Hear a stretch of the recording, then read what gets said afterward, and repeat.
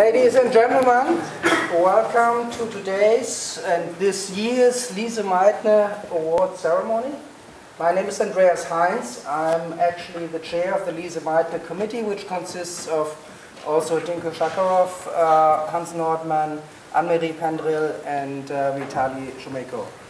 Um, it is my great pleasure to see all of you here. It is my great pleasure to see the room almost fully filled. So I'm very happy about this and I'm fairly certain that you didn't came for nothing.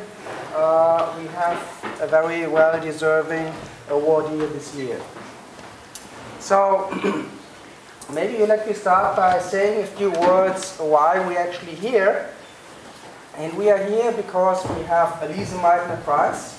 That prize is named for a woman which actually did one of the groundbreaking discoveries of the 20th century, very close uh, to Gothenburg in Kungälv.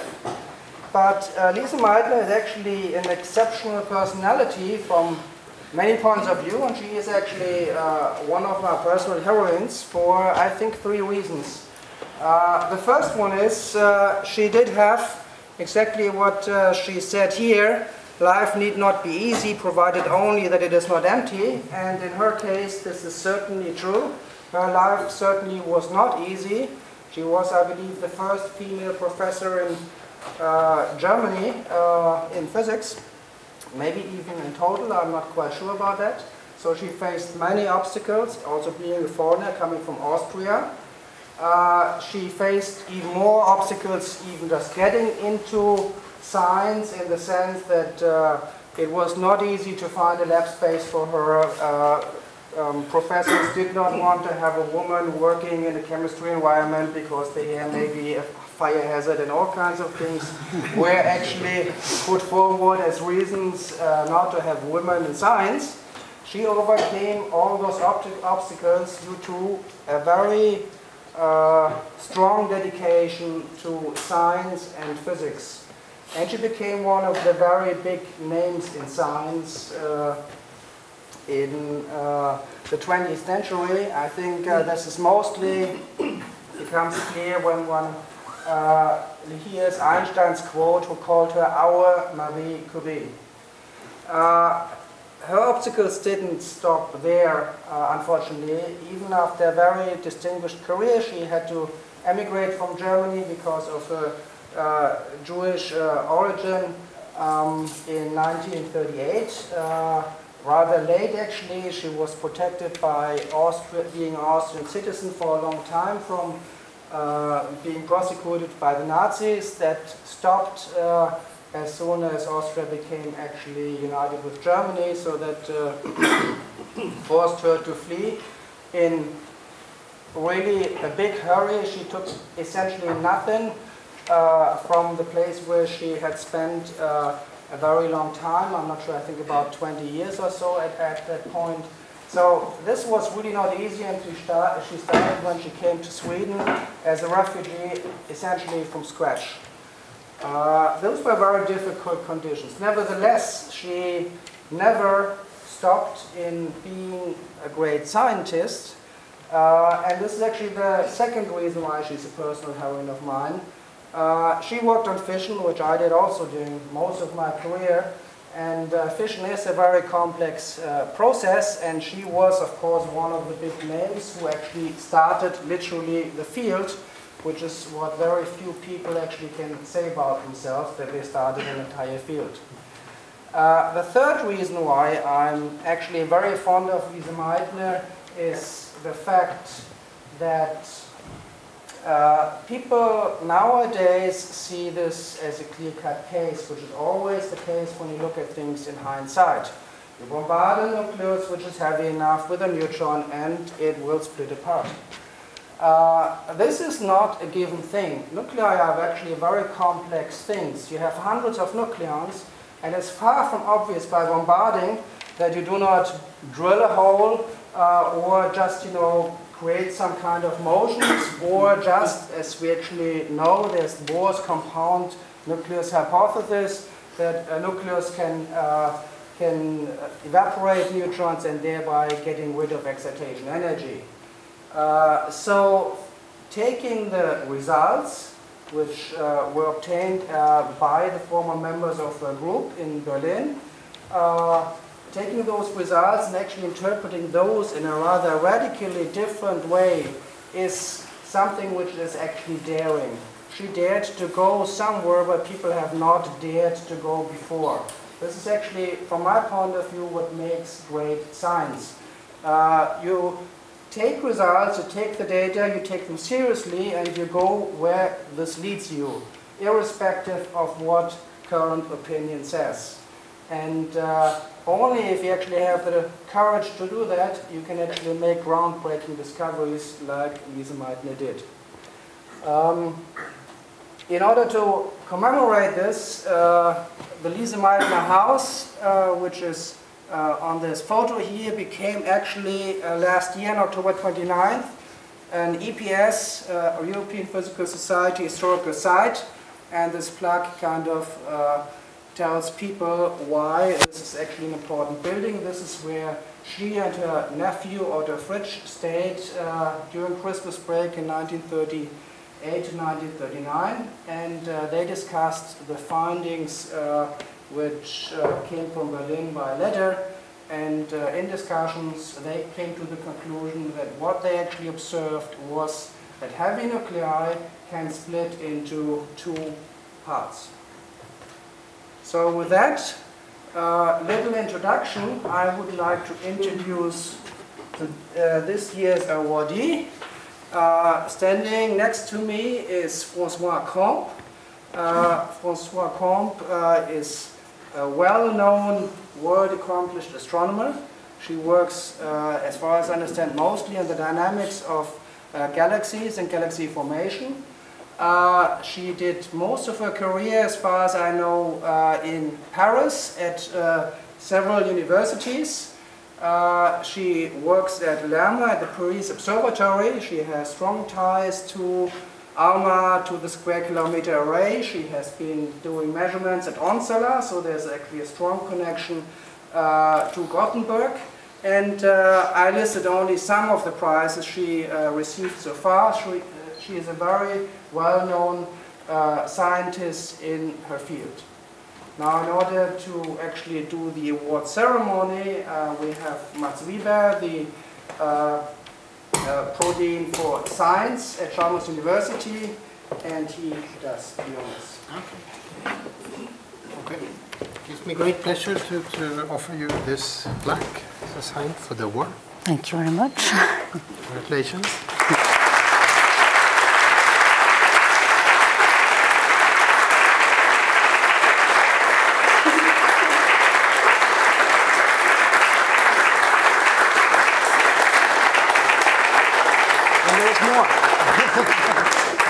And there is more. Mm -hmm. this one uh, also. Mm -hmm. Beautiful.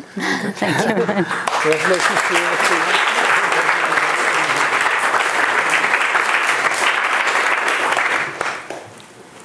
So thank you. I will put my microphone. Sorry. So, in order to deserve the prize, I'm afraid you have to work a little bit. so, uh, um, we will now hear a lecture from you. I just can disconnect here.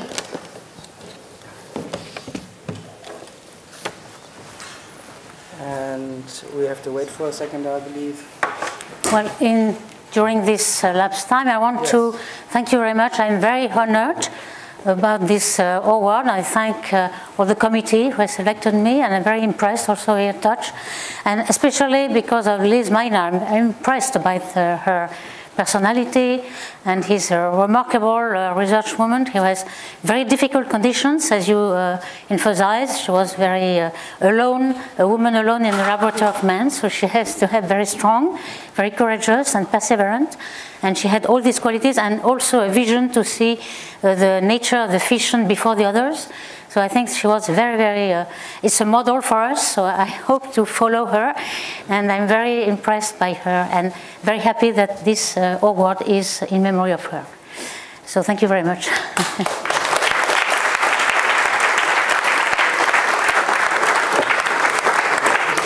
So for this lecture, I will uh, speak about uh, supermassive black holes.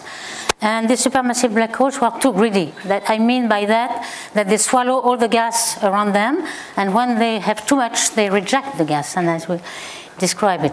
So first, to introduce the topic, what is a black hole?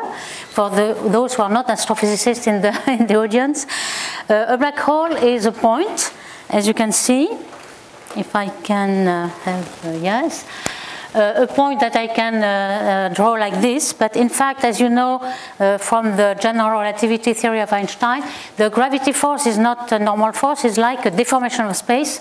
So you are used to have this little carpet at two dimension. Well, it's difficult to see at three dimension, but where maybe like a star is deforming the space and making a hole, and then all the rest, uh, photons and so on, are deflected. When there is a black hole, there is a singularity. So you make a hole in the carpet here. You see the hole in the carpet. It's not possible to, to uh, describe it very much. Uh, inside the singularity is certainly not real, but there is no theory of quantum gravity for the moment. So we have to, uh, to stay outside. And outside, why? Because you have a radius that we call event horizon. It is a radius uh, where the escape velocity from the black hole is larger than the uh, velocity of light. So when you write this escape velocity here, let, let's say the kinetic energy V square is of the same order of the potential energy m over r. So you see that if you equate the escape velocity to c, you have this radius, the, uh, what we call horizon, which is uh, proportional to m. So let's uh, remember that it's proportional to m. And to give you order of magnitude, uh, for the sun, uh, one solar mass of star here, you have a radius of the horizon of three kilometers and I give you the size of the sun now is 700,000 kilometer radius, so there is no, no danger that it is a black hole, fortunately. so uh, also, uh, uh, there are only two quantities that define a black hole which is the mass, of course, and the spin. Of course, the spin is very frequent because in general you form supermassive black hole by merging of two spiral. The two spiral are rotating, and then you have a spin. All the black hole that we have been measuring have a spin. They could have a charge, I've not mentioned that, but the charge is generally uh, insignificant because uh, there is proton and electrons around and it's cancelled out. So mass and spin, and it's only two quantities. So we usually say that the black hole has no hair, so nothing to remember the face of the black hole. so uh, there's two kinds of black holes. Uh, one is uh, when uh, very massive stars die, there is an explosion of supernovae, and then if the core is massive enough, it collapses in uh, when it is 3 to 40 solar mass of, of black hole here. And of course, uh, there must be billions of uh, black holes in our Milky Way, in our galaxy, because there is 300 billions of stars, and all the massive stars that are already dead, they certainly form uh, black holes, but we cannot see them except when they are in binaries and they are uh, actively uh, accreting mass from their companion and they become X-ray binary, uh, high mass X-ray binary. So uh, actually we know about 60 uh, solar mass black hole in the Milky Way. But so it's far from billions that are certainly existing. So uh, you see here when the, uh, the companion has a big envelope and gives mass to the black hole, it accretes, and of course what you see is a light from the accretion disk. But I will not talk about a lot about these. I will talk about the supermassive black holes, which are between 1 million and uh, billions, uh, 10 to the 6, 10 to the 9. And uh, to give this relation again, uh, if you know that the uh, event horizon is proportional to the mass, now it's uh, light hours. And there is a very interesting thing is that if you compute the average density of the black hole divided by the volume of this horizon cube, then a massive black hole is very diffuse, while a stellar mass black hole is very dense. And this has consequences because when the, you have tidal forces, the tidal forces are in 1 over r cube, as you know, and when uh, you approach a mass uh, to the black hole, it is distorted or disrupted by tidal forces when the density, the average density it feels, equal its own density.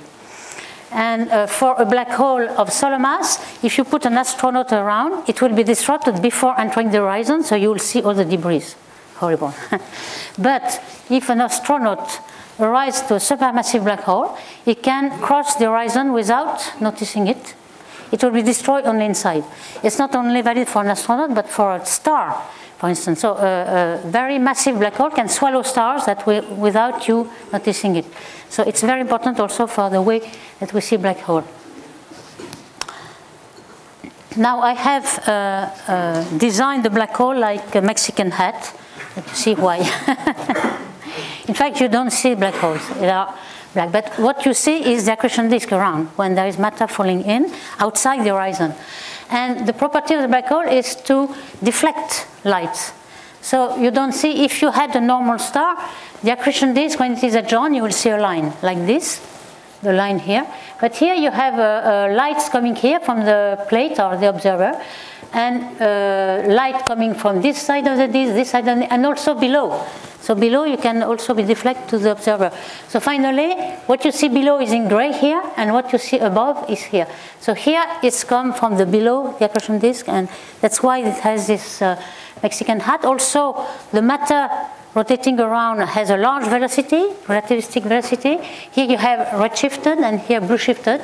And what is uh, going towards you is Doppler boosted, so you see more like this, more the blue shifted side here. So this could be the way you can see the uh, black hole and uh, very uh, in very, very, soon, I guess, you will see this kind of uh, shadow of the black hole with the disk around. One with gravity, there is a, an instrument gravity put in the VLT interferometer that is able to have micro arc second and see the black hole of our Milky Way. So we will see something. Well, I've not uh, make I should make this uh, thing that uh, you are wondering why there are not masses in between. so this is intermediate mass black holes. And there has been uh, recently a buzz that we have detected uh, an intermediate mass black hole in the, in the Milky Way. Well, I don't know if it is sure. It's a candidate, and maybe it's not sure, so I will not be very cautious because there has many uh, candidates have been claimed in literature, and they are not, not right. Well, uh, about representation of black hole, there is one very good by Alain Riazuelo, who has made a movie about it. Uh, he made, he supposed that there is a stellar mass black hole very nearby the Earth, which is not very uh, probable, of course, but here you see uh, a landscape, which is the Milky Way, and the Magellanic Clouds, large Magellanic Clouds and small Magellanic Clouds, without black hole. And with black hole, you see that the Magellanic Clouds is deformed by the optical lens. In fact, it's, uh, it's like a lens, it deflects the the, the light. So you have the Magellanic clouds like this, and this star has been dedoubled in two images. So you see, uh, I can uh, encourage you to see the movie of Alain, which uh, the black hole is moving, and you see a lot of uh, strange effects. Well, the black hole, supermassive black hole that we know the best is though the one that is in our Milky Way, in the center. The Milky Way, uh, it's the galaxy we are in, so we see only the uh, edge-on view, this view, for instance, and of course, the, uh, what I show here is an artist's view of above, which you don't see. Of course, by analogy to other galaxies, we know that there is a bar, there are spiral arms. The sun is here, and the black hole is in the center. To give you scales, uh, here is 100,000 light years in diameter for the optical uh, Milky Way. So we are going to approach the center, to make a zoom to the center. First, uh, in which light can we do that? We cannot do that in the optical light because what you see here is that there is a lot of dust. In fact, you see only the, the arm local to the sun and nothing. It's very dirty. Uh, really, you cannot uh, clean it with a vacuum cleaner. So what you do is you change your wavelength. Your wavelength here is optical. You use you go to near infrared, and why? Because the size of the dust is 0.5 microns. So it's uh, the same as the size of the optical light. And if you go to two microns, well, it's less uh, arrested by, obscured by the. So you can see in uh, two micron uh, this view of the Milky Way as if you were uh, outside, the disk and the bulge. Uh, the bulge is a peanut shape. I don't know if you see very well, but it means that there is a bar, and but there is a very small bulge. So as you see, there is very small black hole. It's only four millions solar mass, but uh, it's still interesting. So you see now the zoom. Uh, we had 100,000 light years. Now you have one light year. You have make a, a big step. And what you see is stars, though in near infrared stars, uh, nuclear stellar cluster. And uh, another zoom here is to go to one light year to 20 light days this time. And you see stars one by one. And here you see the difference is that we use adaptive optics. Because here you have the um, turbulence of the atmosphere, which is blurring images. And here you have only the uh, ring of the diffraction uh, uh, deformation of each star. So it's a point source. And for adaptive optics, I can show you a little animation showing you how you pass from a blurred image to uh, when the adaptive optics is on at the VLT, you can have exactly the size of the diffraction limit of each point source. So you see a very large improvement, and that's why you can see uh, stars one by one. And when you have made that, then you have a beautiful movie here. Uh, there are two groups doing that. In fact, one in uh, Munich uh, groups and uh, also with the help of some French people in Observatory of Paris. And also a group in California uh, with a Keck. So the European group is with VLT. And what you see here is a monitoring from 20 years. In fact, you begin in 1995, so about 20 years. And uh, each star is really the proper motion that you see during 20 years. And you see that uh, uh, they are obeying some Kepler, perfect Kepler orbits, because you are very inside the bulge, and what is dominating here is only one mass, the black hole. So they are in the sphere of influence of the black hole, it's uh, only a few parsec, and uh, a point mass gives you Kepler orbit. So you are, the black hole is at the focus of the ellipse.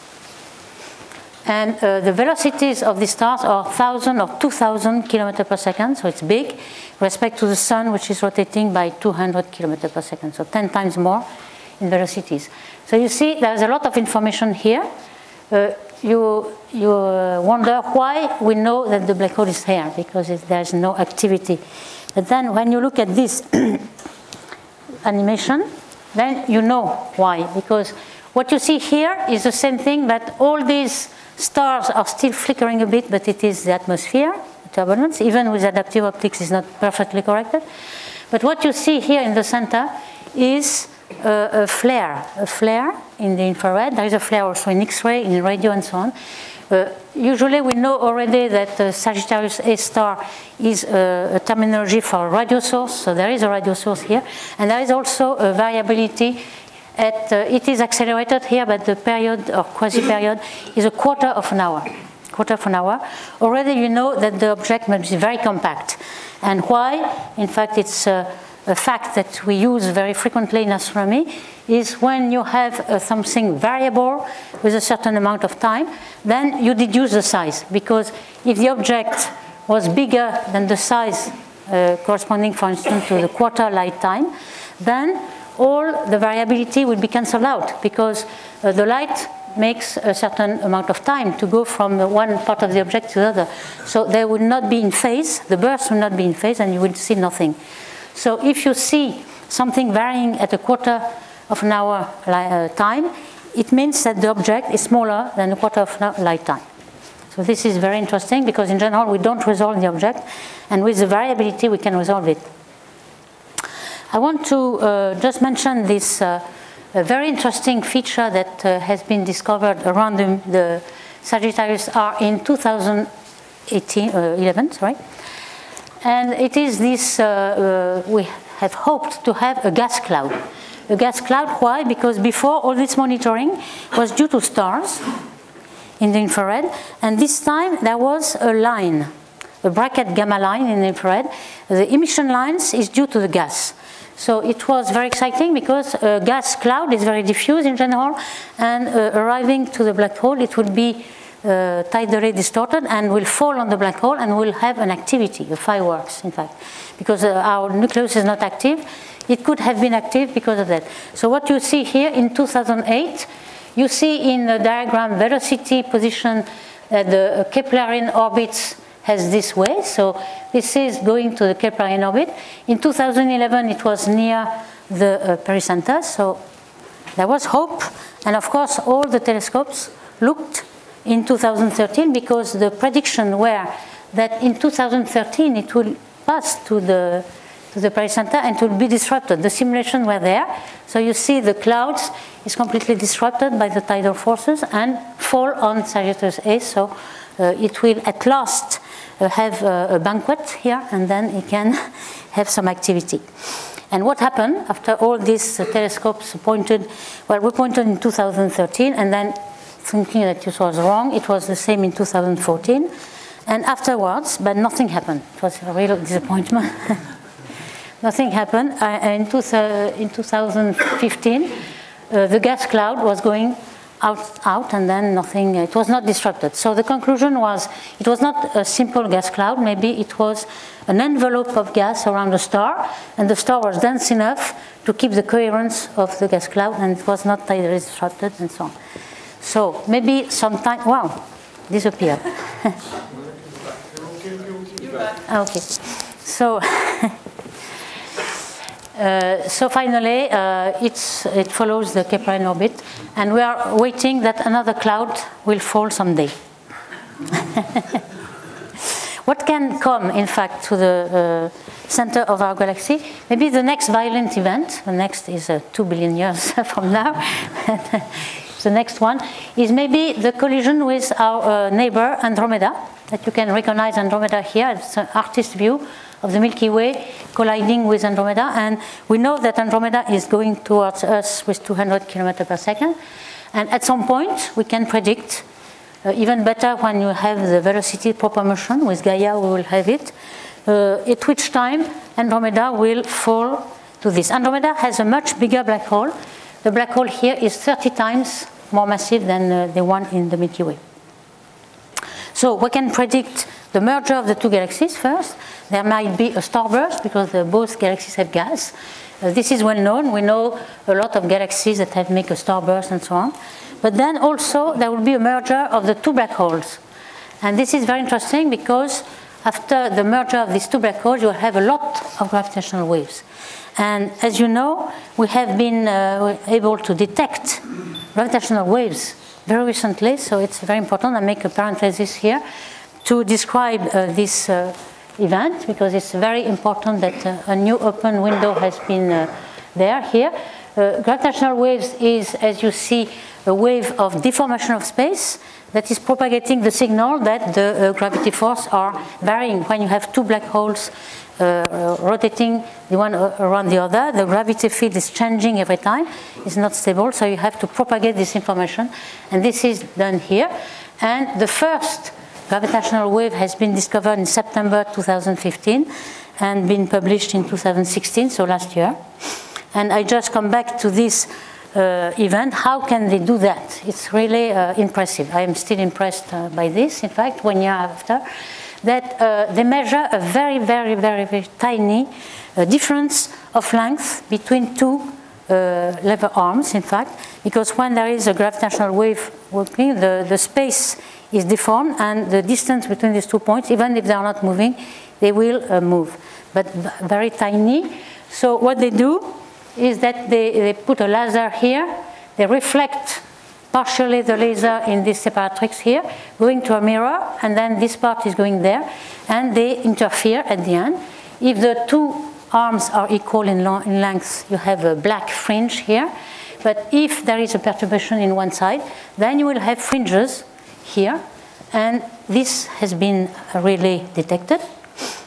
And this is the principle, which is very clear to see. The length are varying, of course, exaggerated. And you see the fringes that you measure. And you can have optical. So there is uh, several interferometers. LIGO, LIGO is uh, American, one in the Washington in the, in the West, and one in Louisiana. And now Virgo is operating since a few months. And there is rumor that there will be another event very soon published.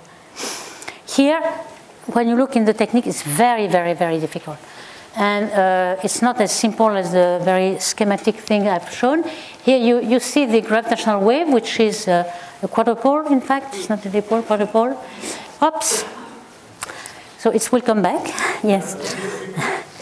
So uh, the, the problem is that uh, the, when you have two black holes of stellar mass, you expect a frequency of 100 hertz. It's the frequency of rotation, the two black holes, the one around the other. Uh, of course, it's varying, but around 100. And of course, it's around the, uh, the audio frequencies. But it's not the velocity of sound, it's the velocity of light. So the wavelength is 3,000 kilometers. So of course, we, the, the lever arm of LIGO is 4 kilometers. So how can they detect? In fact, they are making a laser cavity, and they have a cavity reflecting 1,000 times, so they can have 4,000 kilometers of arm. That's why they can do that. And uh, here also, and you see these uh, mirrors, they are perfect mirrors. Of course, after 1,000 reflections, they must have the signal. So it's really uh, a performance. Uh, the mirrors have not to be uh, sensitive to all vibration, the trucks, the metro, the tram, and so on. So they are in uh, equilibrium in one dimension. And um, well, the, the length they measure is 10 to minus 18 meter. It's really amazing. The proton size is 10 minus 15, so it's much lower than the proton size. And in relative, with 4 kilometers, 10 to minus 21. So how is it possible? they succeeded. They succeeded and they saw this signal, which is very beautiful, in fact. Uh, the model is here and the observation is there. It's really almost the model. You see, as a function of time, how much is the duration. You see here the scale is 0.1 second all this merger of uh, black holes is 0.1 second. And of course, you see uh, they are rotating slowly and then, okay, so the frequency is climbing. And you have this slow and then, so if you have the frequency as a function of time, you have this little bird that is. So you see the frequency is coming up. And also what means that uh, all people are convinced that, that they see the same signal in Washington and in Louisiana. Here is uh, Hanford and Livingston. And with the right delay, because when you look, well, first, that there is also for all the other events, you have a library of models that people, theoreticians have uh, worked out. You have three steps in the merger of the black holes. You have first the spiraling uh, phase, and in this phase, they can make some uh, approximation, post-Newtonian approximation here, and they have a lot of computation, but it is feasible. And then in the merger zone, they cannot make, there is no equations. So they have a, a, numerical relativity. And then at the end, the relaxation thing, the ring down phase, they make the approximation of black hole with certain perturbation. All this is controlled, and they have thousands of examples in the library. So what they do when they, they observe some noise in the gravitational uh, detector, they compare with the library of events, and then they deduce if this uh, true event of gravitational wave and what are the masses involved. Okay, and the, the masses is here, you have this uh, frequency linked to the masses and so on. So for this event, as you see, uh, there was, well, first, there is 10 milliseconds for the light to go to Washington to Louisiana, and they, they saw the same signal with this delay, so it was another confirmation. And also the masses. This was a surprise, in fact. Well, we were expecting to find this, uh, this uh, signal, but the masses are enormous 29 and 36. So the mass of black hole were merging so the total of the binary is 65. After the merger, it is 62. So three solar masses have disappeared. And where? Well, in fact, it's the energy necessary to send the gravitational wave. It's really a, a strong energy because uh, the event was very, very far away. It was 1.3 billion light years away. So you have to deform space during 1.3 billion uh, years. And this is a lot of energy, and three suns have to be sacrificed in this. so you see uh, now that this, why it was a surprise, is because you have a, a number of masses in function of time, if you know. We, before this LIGO event, sorry, but it will come back, we had uh, this uh, mass of black holes that I talked about uh, recently, that is, it's more frequent. but uh, here that was 10, 15 solar mass black holes that were discovered by the X-ray binaries. But here you see how more massive they were than the one that were discovered previously. So this was a really a surprise, although some papers have predicted that, but not the majority, in fact. And here are the events that were from uh, LIGO, all uh, mergers of two black holes, and uh, people have been alerted by optical telescopes, and there was no electromagnetic counterpart. There is no uh, event in optical and so on. And there is a rumor that will be soon known, maybe that uh, uh, there is a merger involving a neutron star, maybe two neutron star and neutron star black hole, that will be discovered. And there, there could be an, uh, some electromagnetic uh, event because a neutron star has something around the horizon. So it is, and this uh, involves the Virgo, which is the European. Just disconnect quickly. And yes, maybe something. So now I will come back to to the supermassive black hole. It was a parenthesis with, uh, with the gravitational wave. And the supermassive black holes give rise to uh, the most uh, bright object in the universe. In fact, the black holes, paradoxically, uh, they are black. They don't radiate anything, but uh, they give rise to the most, uh, the brightest object, which are the quasars. The quasars, they have been discovered in uh, 1963 by uh, Maarten Schmidt. It makes the cover of the Time magazine, so it was a strong event. Anyway, and um, why uh, it was discovered in fact, we knew uh, radio sources. And 3C is the third catalog of Cambridge, so it was known for a long time. There was a radio source, some jets, and, but the optical counterpart is a star. This is one. So uh, people uh, call that quasi-star. But uh, the spectrum of the star was very strange and didn't look like a star. And the genius idea of Maarten Schmidt was to see that the spectrum can be interpreted if you redshift the lines. And then you retrieve the, the hydrogen lines or other lines here. So the idea is was that uh, the, this quasar was at very long distance because uh, it is redshifted by the expansion of the universe and it is very a very remote object. At the epoch, it was uh, this redshift, which is now a low redshift, but at the epoch, it was high redshift. And um, this is then very, very bright uh, intrinsically. And uh, progressively, they learn that there is a galaxy behind. Here you see uh, with the HST image that you can subtract, because you are in space, you are not blurred by the atmosphere, you can subtract the point source. And when you subtract the point source, you see a galaxy behind. And the, the point that why you have not seen the galaxy before, it's because the quasar, the nucleus, the black hole, is radiating thousand times more than the galaxy. So you are completely dazzled by the quasar, and you don't see the galaxy. When you, you are able to subtract, of course, there are some artifacts at the center, but you see the galaxy, and uh, all the quasars are uh, black holes in the center of galaxies.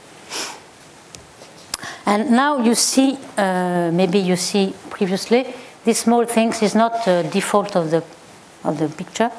It is true, it is real.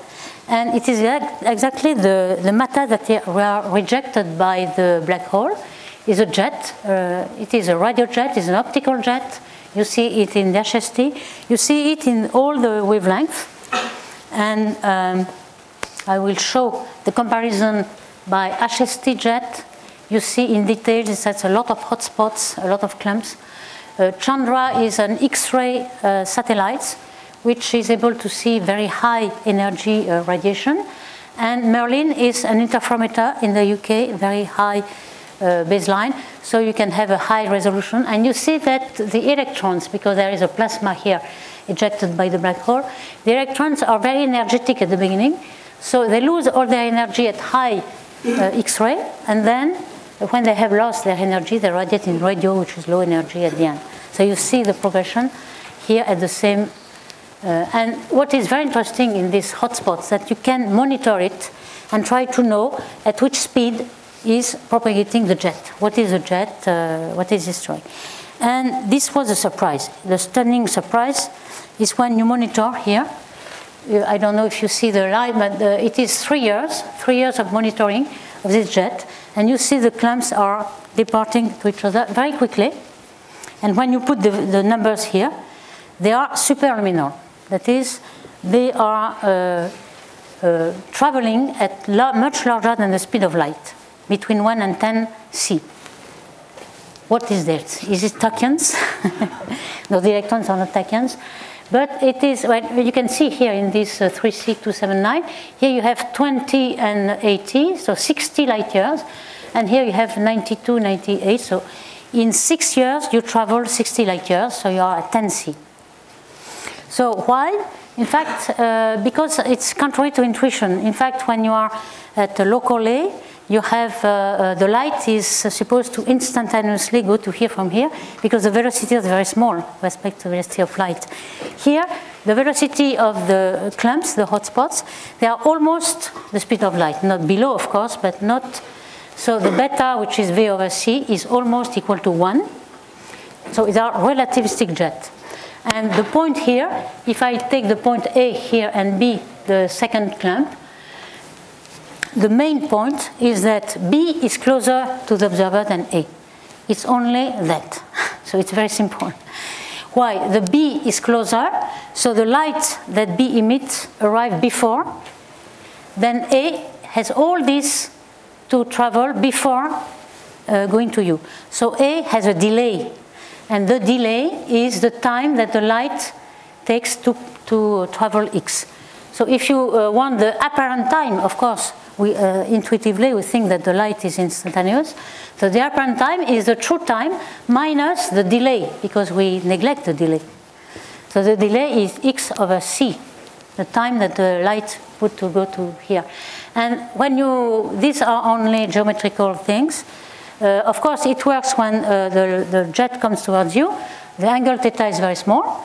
So when you, you, you work out these uh, geometrical things that are very simple, as you see, then the apparent velocity has a term in denominator, which is 1 minus beta. Cosine theta is almost 1. So 1 minus beta, if beta is close to 1, you see that you can have apparent velocity very high.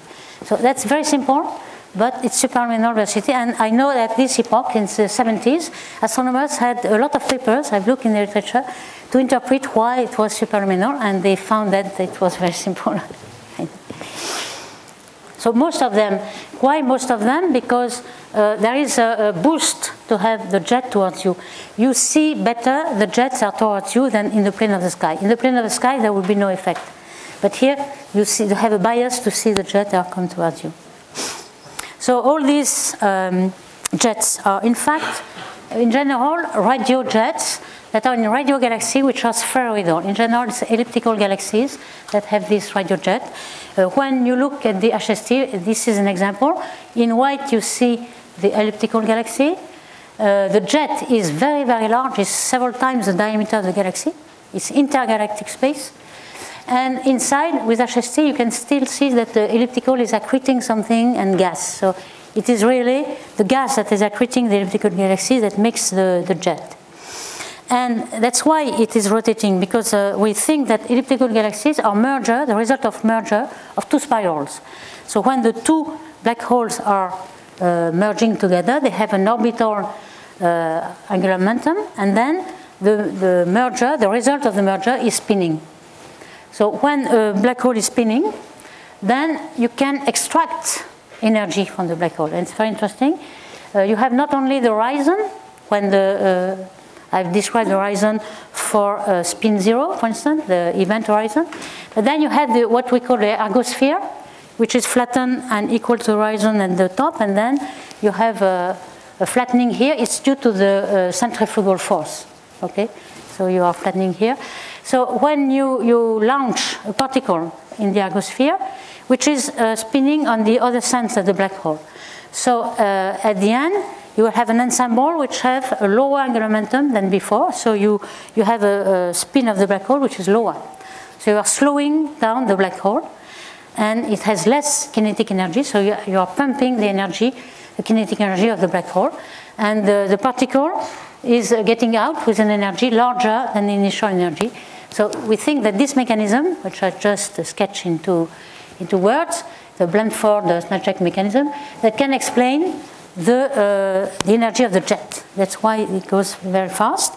And why is it so collimated? In fact, it's certainly due to a magnetic field. Of course, in this uh, strongly rotating, have a lot of dynamo effect, a strong magnetic field, and the magnetic field lines are rotating. They are completely uh, uh, spun out, and then it makes a tunnel, and they are really confining the particles in this, and it is collimated in a huge scale. It's uh, really surprising when you look at this kind of radio lobes. Cygnus A is a very well-known radio source. You see here, there is a galaxy here, you make a zoom, you see the galaxy in the optical with the dust lane and so on. So these jets are very far away from the galaxy. They are so thin, it's uh, remarkable. they are very collimated, and of course, after a while, the electrons lose their energy, and then they are slowed down, and they end in turbulent and shocks in the radio lobes. But it's far from the galaxy. And uh, this one is not completely inclined towards you, but you see this jet is the one that's going towards you because it's more visible than the other one. So we, we can uh, understand why is this so collimated. And why, uh, what is the uh, duty cycle of this? In fact, a black hole has no food for most of the time. It just eats sometimes. it sometimes, and the, the time of the banquet is only 10 million years, very small. In, uh, with respect to billion, billion of years of the life of the hole. So when it happens is when gas is falling in, and in general it's mergers of galaxies. Two uh, gas-rich mergers are, are falling in, and in general we see that the quasars, the nearby quasars, are mergers of galaxies. You can see loops and so on, and tidal tails. So all the uh, nearby quasars are due to the merger of galaxies that revive the, the black hole which is uh, sleeping and then put gas in and you can have an activity. And sometimes you see these kind of things, uh, which is rare because uh, when you have a merger of two nuclei here, at the same scale you have the two nucleus in radio, and you see four jets, in fact. Uh, each galaxy has two jets. Why is it rare? Because uh, the uh, merging timescale is 200 uh, million years, and the timescale to have a jet is 10 million years. So either one galaxy has a jet or the other has a jet, but the two simultaneously is very rare. So there's not a lot of objects like this. And also the jet is a, um, a way, a machine to measure the wind that is uh, flowing around the galaxy.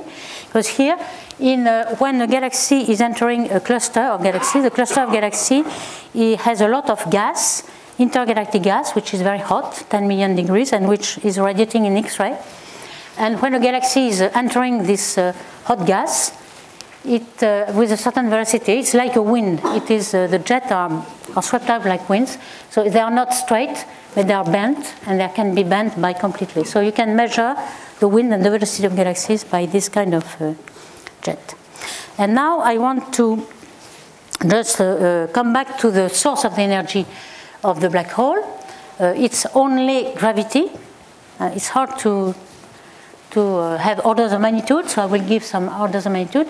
So when an accretion disk, the matter is uh, falling in the black hole, you have, let's say, a certain mass test m, with a black hole of mass uh, large m.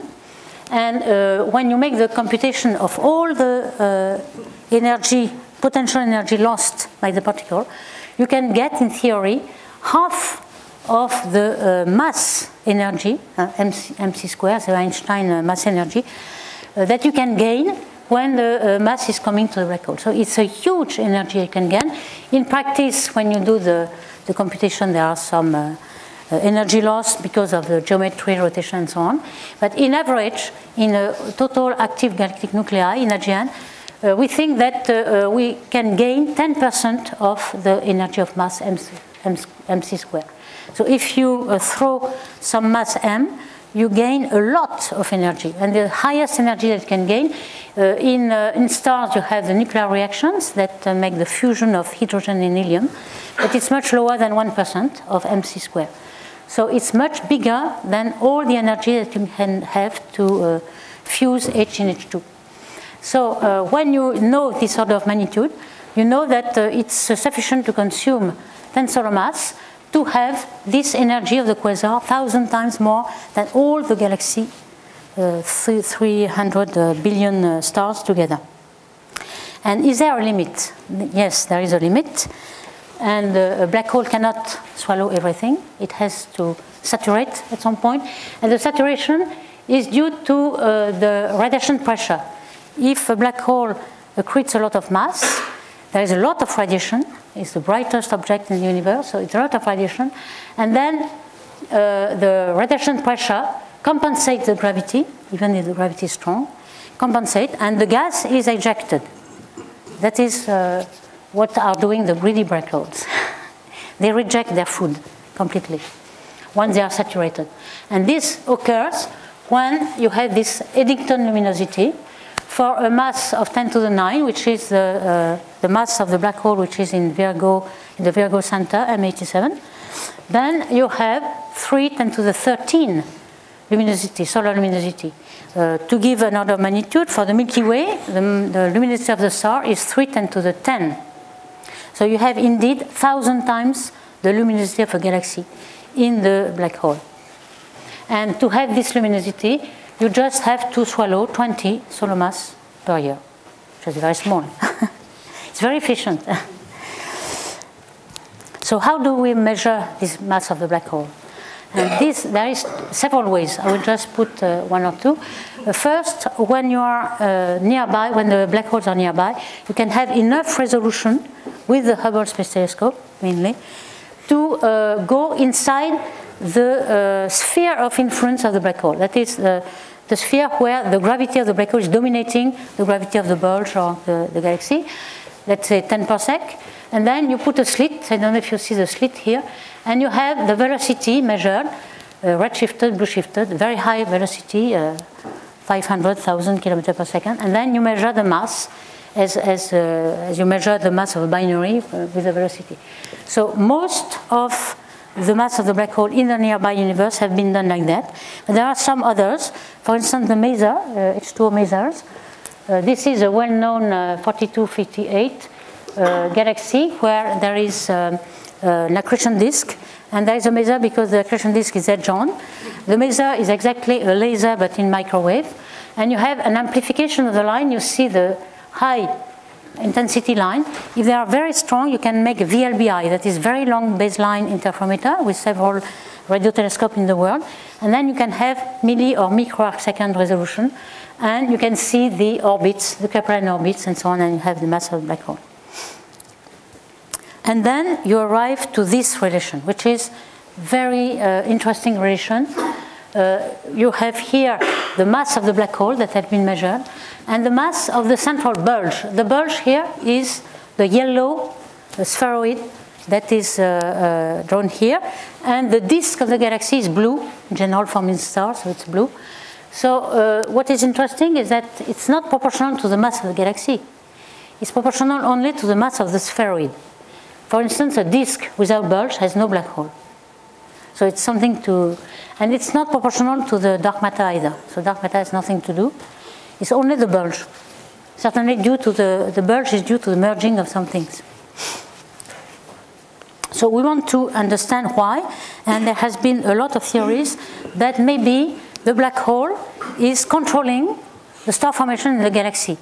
There is some moderating feature, and indeed, what I want to show you in the time which is uh, left here, that uh, indeed uh, the black hole will solve the problem that we have, a big problem that we have now, that uh, all the uh, atoms, I will say baryons here, the atoms, neutrons, and so on, the baryons, are outside galaxies. It's a very uh, mystery.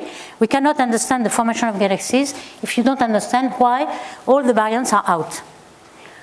And why we know they are out? Because we know that uh, in galaxies, you have this vision, uh, schematically drawn here, that you have baryons in the center and you have a halo of dark matter. The dark matter we don't see it, but we can measure by the velocity of the stars that are rotating around the, the, galaxy here, that there is a lot of mass that we don't see, and we call it dark matter. And we can know how much there is. And in the universe, we know from uh, the satellite Planck, and I have no time to get into, but we know that uh, there is only 5% of atoms or baryons, and the dark matter is 25. So uh, the ratio between the two is 17 or 20%. So 20% in the whole universe, but in galaxies less than 4%. So 80% or 90% of the baryons are out of galaxies. So why? And even it is true for the Milky Way, there is about 4%, uh, but even less. Here it's a function of mass. You see the ratio of the baryons to the halo mass, and it is 4% for the Milky Way, but for the rest, even less for the dwarf galaxies, even less for the more massive. So for the dwarf galaxies, we think that maybe supernovae can uh, eject all the gas because the potential well is not very high. But for massive galaxies, there is only black holes that can have the energy to push the gas away and to put all the baryons outside galaxies. Now, it is an hypothesis. We want to check if indeed black holes are able to do that. And we have some, some um, hints, clues that it's possible. Here I show you, for instance, uh, uh, massive galaxy clusters. I told you that there is a sphere of hot gas that is seen in X-ray. It's not homogeneous. You can see uh, cavities here. And the cavities are due to the black hole because they are uh, corresponding to the jet. In blue, you have the jet here. And you see that the, uh, the jet of the black hole, which is the center, is exactly in the cavities. So we think that the cavities are digged by the black hole. So you see that the black hole has an influence at much larger than the size of a galaxy. At least we see that in uh, this cluster, in also Perseus cluster, which is very well known. Here is the X-ray Chandra image of the Perseus cluster. You see the cavities. And uh, there are also ripples when you make an short mask image. You have the ionized gas, you have the cold gas around the cavities here. So the all is turning around the black hole, and we think that uh, the black hole has a large influence.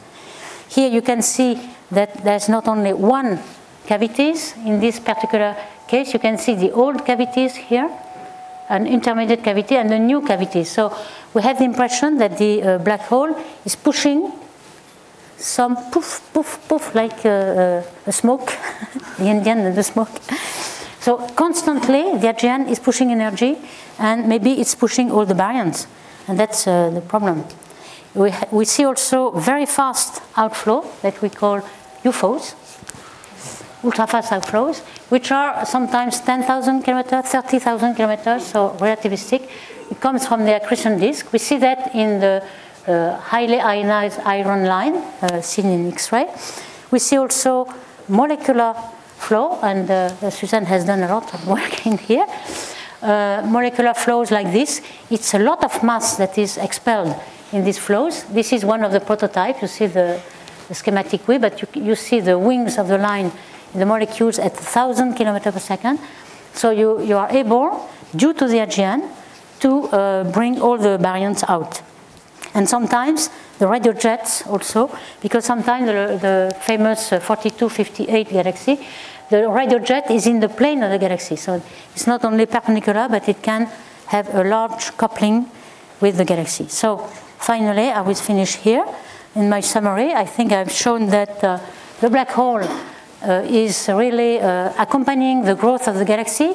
We know that the bulge mass and the black hole mass are uh, proportional we don't understand quite this, but we, we think that we, we can uh, uh, demonstrate at some point that uh, there are gas outflows due to the AGN that stop the star formation. So that's why there is a, a moderation between the black hole growth and the, um, the galaxy uh, growth by uh, star formation. So the feedback might be enough, uh, efficient enough to prevent the baryons to form stars and to eject all the baryons in the intergalactic space. That's why there's not enough baryons in galaxies. So thank you very much.